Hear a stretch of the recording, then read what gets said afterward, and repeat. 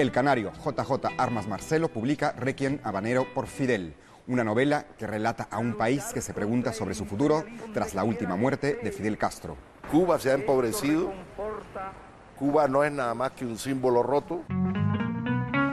La Habana es muy habladora, habla todo el tiempo, pero tiene una forma de hablar que no tiene ninguna otra ciudad del mundo. Habla del lado como si no hablara. Escribe y dice JJ Armas Marcelo, quien publica Requiem Habanero por Fidel.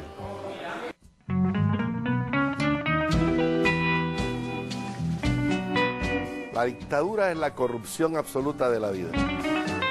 Todas son iguales. No creo que el sistema cubano sea comunista, es castrista.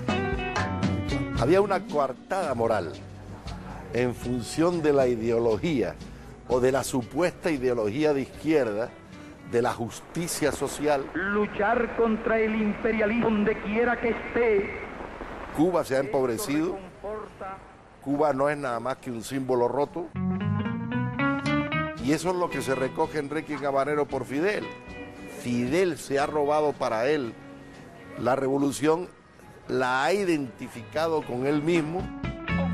¿Qué se saca haciendo a todo el mundo pobre? Nos consideramos rebaño impotente. Camiseta no, pero en mi habitación de trabajo tenía la foto de Corda.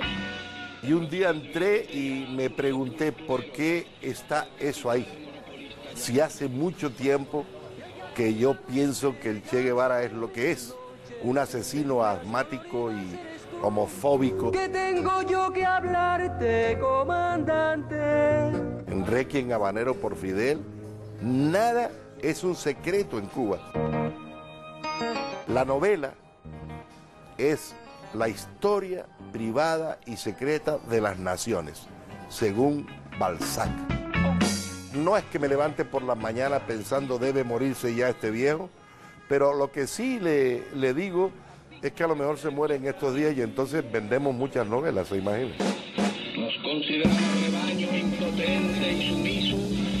Y ya se empieza a asustar de ese rebaño.